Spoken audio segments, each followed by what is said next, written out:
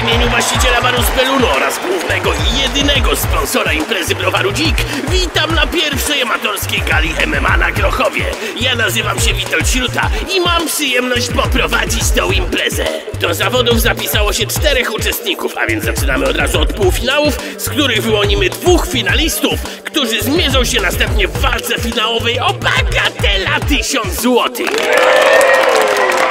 Nie trój, wiem co robię. Po wódzie mi się taki agresor załączy, że i Budzianowi bym wklepał raz trzy. Ten tysiak już jest mój, a jak nie wygram, to ty mi oddasz, bo mówiłeś, że wygram, kurwa, trzy. Spokojna głowa, wygasz, nie ma innej opcji. Skup się, pierwsza walka przed tobą. Jako pierwsi w oktagonie zatańczą długo. Budziane kontra Najman.